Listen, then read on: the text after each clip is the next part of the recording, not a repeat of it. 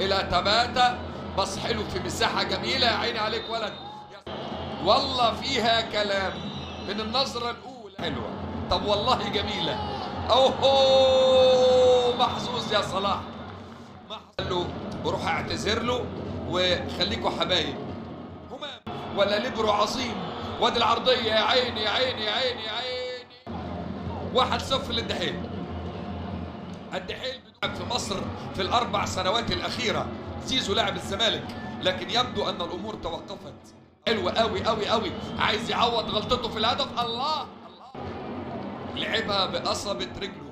بداية آه، تباتا 44 سنة. ابتدوا باستمرار. وبينزل لهم تياجو مينديز أهو. لمراد ناجي روجر. فاول.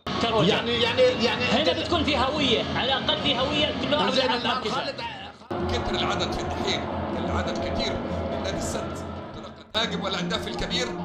وبعد ما أصبح بغداد بنجاح هو هداف الدوري بهدفين النهارده رغم لكن تاني على طول إلى بريرا داخل في العمق بريرا هو اللي بيلعب على الخط المفروض باستمرار. يبدو ذلك. انطلاقة تاني من جديد بين الخطوط كعب رجل حلو وجميل. ولسه المباراة نفسها ممكن حاجات فيها تتغير كتير تصويبة من مسافات.